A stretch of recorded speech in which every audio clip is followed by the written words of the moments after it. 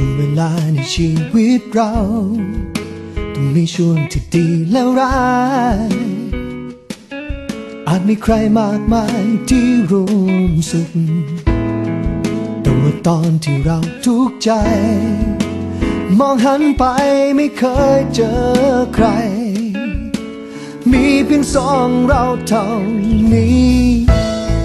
แปลกดีที่ชีวิตคน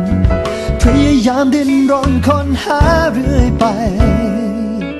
กับอะไรที่เป็นของนอกกาย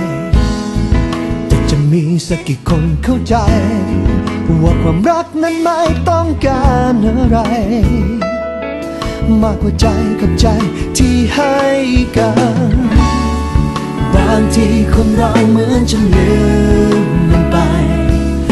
อะไรที่มีความหมายและสำคัญ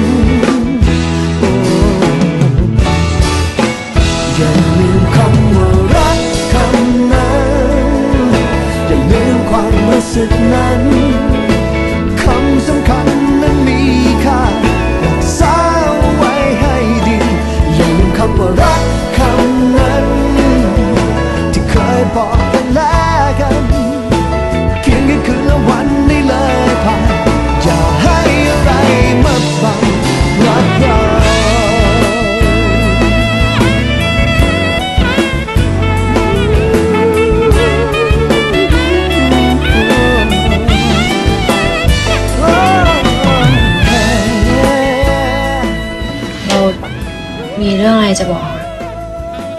เราเพิ่งเล่นจะบอกเหมือนกัน แต่งงานกันนะ